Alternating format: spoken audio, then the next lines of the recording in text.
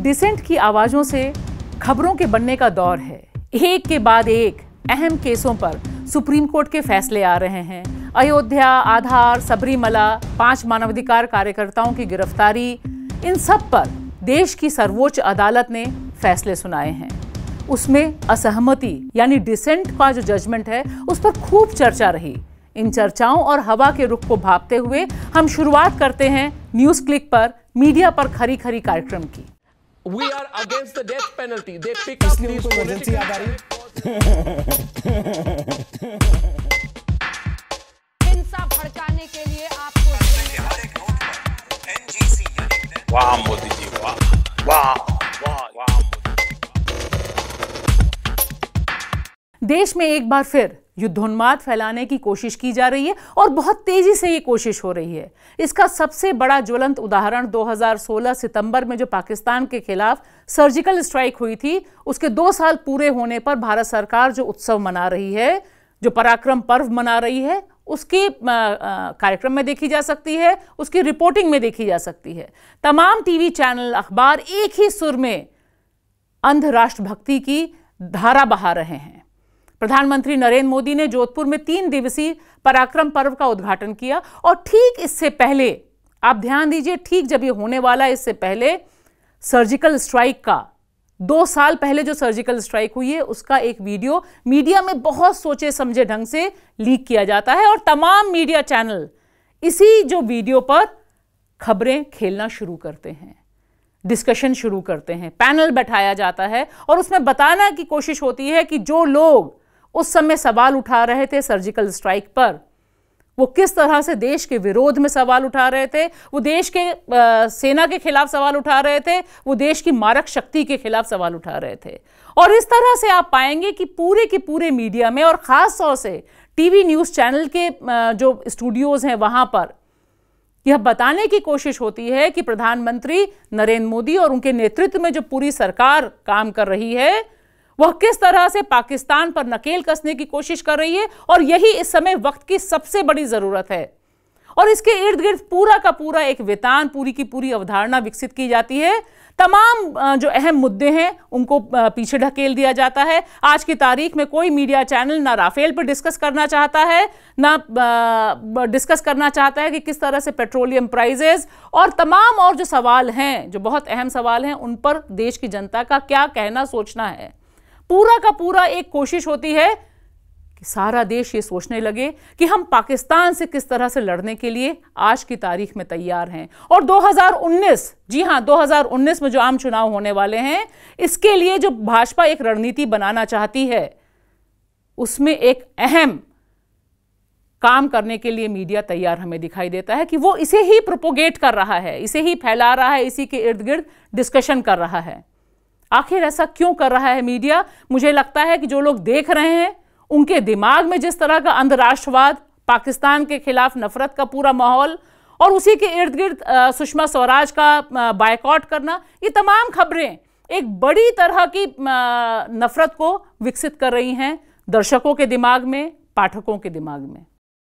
इसी तरह का एक वितान, इसी तरह की एक कोशिश हमें दिखाई देती है जब सुप्रीम कोर्ट का फैसला आता है, जो बहुत अहम फैसला है। जो पाँच मानवाधिकार कार्यकर्ताओं की गिरफ्तारी हुई थी, महाराष्ट्र की पुणे पुलिस ने जिनको गिरफ़्तार किया था और बताया था कि ये लोग एक बड़ी साजिश का हिस्सा हैं भीमा कोरेगांव मामले में, उस पर जब सुप्रीम कोर्ट फैसला देता है, उस फैसले में वो साफ़ साफ़ ये कहता है कि इनको अभी चार हफ़्ते तक और नज़रबंद रखना चाहिए, इनको जुडिशल मदद मिलने की एक कोशिश जो लोग करना चाहते हैं वो कर सकते हैं, लेकिन साथ ही साथ जो बहुमत का फैसला है वो यह कहता है कि सिर्फ़ डिसेंट का मामला नहीं है, और सबूत भी हैं। ये तमाम चीज़ें होती हैं जिसकी मीडिया रिपोर्टिंग करता है, और उसी समय, उसी दिन रोमिला थापर और बाकी पाँच लोग जो याचिकर्ता हैं, वो एक प्रेस कॉन्फ्रेंस करते हैं। अब आप देखिए, ये पूरे मामले को किस तरह से एक अर्बन नक्सल का मामला दोबारा पुनर्जीवित होता है मीडिया स्टूडियोज पे खास तौर से रिपब्लिक टीवी जो इसके लिए बहुत मशहूर रहा है। लेकिन वो एक वितंडा फिर दोबारा रचने की कोशिश करता है कि किस तरह से इंदिरा जयसिंह।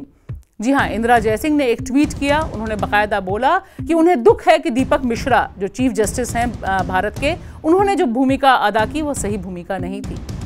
और इस एक ट्वीट को लेकर, रोमिला थापर की प्रेस कॉन्फ्रेंस को लेकर, पूरा मामला बनाने की कोशिश होती है टीवी न्यूज़ स्टूडियो में कि इन तमाम लोगों को भी अब निपटाया जाना चाहिए।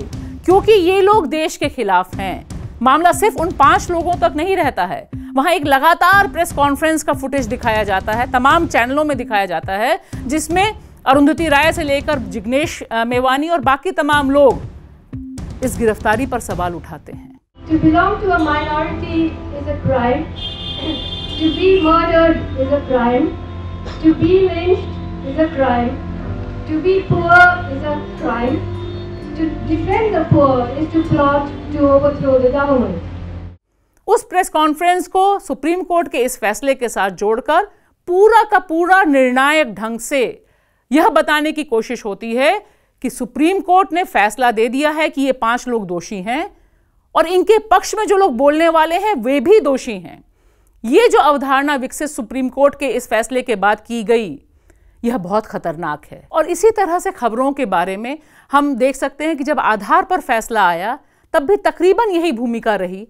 वह भी फैसला बहुमत और अल्पमत का था। वहाँ भी जस्टिस चंद्रचूड़ ने अपनी असहमति का फैसला सुनाया था। लेकिन मीडिया में जो खबर थी, क्योंकि पहले से एक खेमा जो मीडिया का था, वह लगातार यह बताने की कोशिश कर रहा था कि आधार पर जो लोग आपत्ति कर रहे हैं, उनकी आपत्ति सही नहीं है। और इसलिए उनकी आपत्तियों को जगह बहुत कम मिली। दिक्कत यह है कि मीडिया खुद जब एक ट्रायल करने लग जाता है, चाहे वो पाँच कार्यकर्ताओं की गिरफ्तारी के मामले में हमने देखा हो या इस मामले में देख रहे हैं, वहाँ पर मीडिया साथ साथ खड़ा हुआ है, तकरीबन वही भाषा बोल रहा है जो सरकार चाहती है। इसी तरह से राफेल वाले मामले में जो कवरेज हुई, जब रविशंकर प्रसाद ने एक मीडिया कर्मी को बोला कि राहुल गांधी की जो बदतमीजी है, उसका जवाब प्रधानमंत्री क्यों दें? और सीधे डांटते हुए बात करते हैं, लेकिन इसे मीडिया एक बड़ा इशू नहीं बनाता है।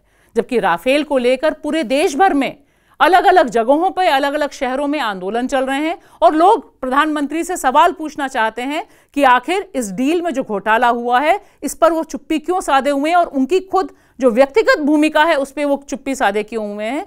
लेकिन मीडिया जहाँ सवाल पूछ रहा है, मंत्री से सवाल पूछ रहा है और मंत्री जब उसे डांटते हुए जवाब दे रहा है, तब भी मीडिया के अंदर यह सवाल नहीं उठता है कि क्या बातचीत एक मंत्री से इस लहजे पर होनी चाहिए? क्या मीडिया की भूमिका यह नहीं है कि उस पर जो सीधे सीधे सवाल उठाया जा रहा है, उस पर बात करें? उस पर कम से कम आपत्ति तो जताए।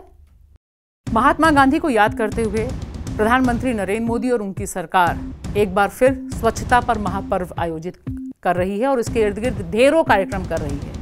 और उसके बारे में मीडिया की रिपोर्ट्स हमें देखने को मिल ही रही हैं। लेकिन इसी के साथ जो एक बहुत अहम सवाल है, जो सफ़ाई कर्मचारी समुदाय उठा रहा है, जो सीवर में मौतों का सवाल हो, जो उनके पुनर्वास का सवाल हो, जो उनका ये सवाल हो कि जो लोन मिलना चाहिए था, जो बच्चों को शिक्षा मिलनी चाहिए थी, वो क्यों नहीं मिल रही? इस पर ध्यान ना तो सरकार का है और ना ही हमारा जो मुख्य धारा का मीडिया है, जिस तरह से उसे इन दोनों को जोड़ने का सवाल करना चाहिए था, वह सवाल नहीं हुआ। ये हमारी मजबूरी है, ज़रूरत नहीं है। हमारी मजबूरी है और उसका फ़ायदा उठा रही है। गवर्नमेंट इसकी जिम्मेवारी है। पिछले दिनों दिल्ली में सीवर में जो मौतें हुई हैं, उसको लेकर एक विशाल प्रदर्शन हुआ सफ़ाई कर्मचारी आंदोलन की तरफ़ से, जिसमें बड़े पैमाने पर सिविल सोसाइटी आई। बड़े पैमाने पर मीडिया भी आया। बड़े पैमाने पर खबरें भी बनी। लेकिन देखिए कि वहाँ पर आपको साफ़ दिखाई देगा कि जो अंग्रेज़ी का मीडिया है, जो वर्नाकुलर मीडिया है, जो हिंदी का मीडिया है, उसमें खबरों को लेकर किस तरह से एक बिल्कुल दूसरा दृष्टिकोण आपको दिखाई देता है। अंग्रेज़ी के अखबारों में जहाँ ये प्रमुखता से खबर छपी, लेकिन हिंदी के अखबार, खास तौर से अगर आप दैनिक जागरण उठाइए, जिसके बारे में कहा जाता है कि वो सबसे ज़्यादा बिकता है, वहाँ पर दो लाइन भी खबर इस बारे में नहीं थी जहाँ सैकड़ों की तादाद में सफ़ाई कर्मचारी जंतर मंतर पार्लियामेंट स्ट्रीट पे उतरे हुए थे। और वहाँ पर आ, सिर्फ़ वही उतरे नहीं हुए थे सीवर में जिन्होंने मौतें गंवाई हैं।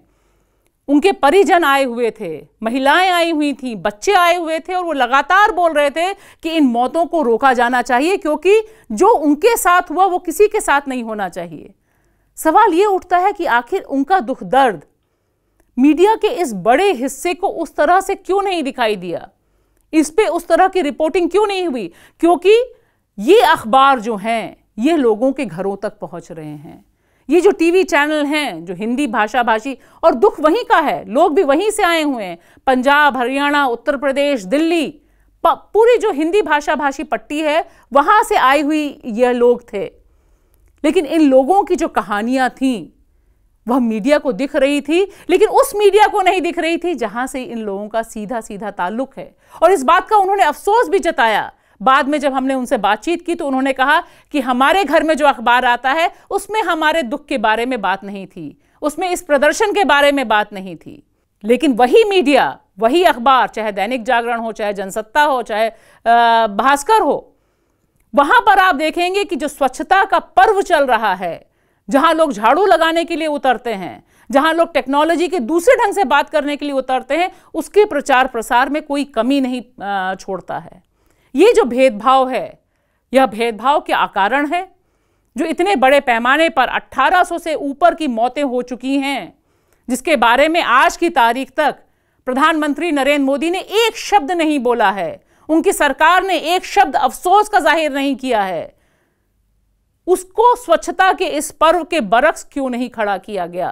क्यों नहीं सवाल पूछा गया कि लाखों करोड़ों रुपए जो स्वच्छता पे खर्च किए जा रहे हैं, ये इन सीवर में मरने वालों को क्यों नहीं मिल सकते? टेक्नोलॉजी वहाँ क्यों नहीं पहुँच सकती? नई उम्र का बच्चा ये उस कार्य करता है। क्यों? किसकी भी बच्चे पालने इसकी माँ बाप पालने इसकी माँ भी रेलवे ट्रैक पर काम करती है। जो ट्रैक से जो लेटरिंग गिरती है ना, उनको उठा करके नहीं, जो उन्हें बाहर फेंक के आती है। ये स्थिति। ये जो सारे सवाल हैं, जो हमारे लोकतंत्र से जुड़े हुए सवाल हैं, इन पर मीडिया की जो चुप्पी है यह अनदेखी है ये जो अनसीन इंडिया है, अदृश्य भारत है, इसके बारे में हम अपनी चुप्पी कब तोड़ेंगे? मुझे लगता है ये सवाल बहुत अहम सवाल है। क्रांतिकारी नेता और विचारक भगत सिंह ने 1928 में अपने एक अहम लेख में अखबारों की भूमिका के बारे में बात की थी। उन्होंने कहा था कि अखबारों की असली कर्तव्य शिक्षा देना, लोगों से संकीर्णता निकालना, सांप्रदायिक भावनाएँ हटाना, परस्पर मेल मिलाप बढ़ाना और भारत की साझी राष्ट्रीयता बनाना है। लेकिन इन्होंने अपना मुख्य कर्तव्य अज्ञातता बढ़ाना, संकीर्णता का प्रचार प्रसार करना, सांप्रदायिक बनाना, लड़ाई झगड़े करवाना और भारत की साझी राष्ट्रीयता को नष्ट करना बना लिया है। आज की तारीख में उनका यह कथन अखबारों टीवी चैनलों पर कितना सही साबित होता है ये एक बहुत बड़ा सवाल हमारे सामने है। इस सवाल आपके सामने रखते हुए अगले हफ़्ते तक के लिए मैं लेती हूँ विदा। तब तक दीजिए इजाज़त। फिर करते हैं मुलाकात। शुक्रिया। We are against the death penalty. They pick up these political... हिंसा भड़काने के लिए